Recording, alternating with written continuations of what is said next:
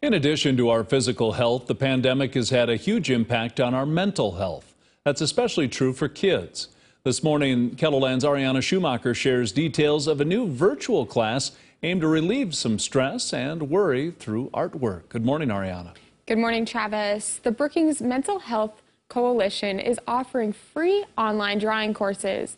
The projects are designed to be easy for kids to do, but also teach them the skills of sketching. Starting today, kids across the state can take a mental health art break with a Zoom drawing course. The past two and a half years have been hard. Uh, we know that uh, we are looking for and desiring things for us to just kind of take that break, take a, a, mental health break and kind of relax. And we know that youth, especially those in our smaller communities, maybe don't have after school programs that provide this kind of programming. When we think about mental health and just, um, you know, feeling like ourselves, a lot of things it can be exploring new opportunities. And so for some, they've never maybe done art, and this is these classes are a way to kind of tip their toe into that and try something.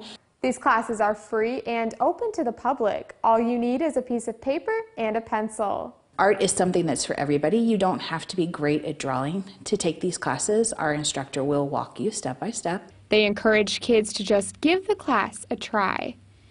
One of the ways that we can count this as a successful program and just initiative is really for folks just to give it a try.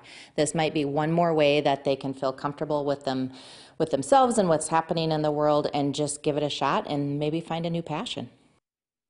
The course begins this afternoon at 4:45 and it'll last around 45 minutes. There will be a new lesson every Tuesday throughout the month of March.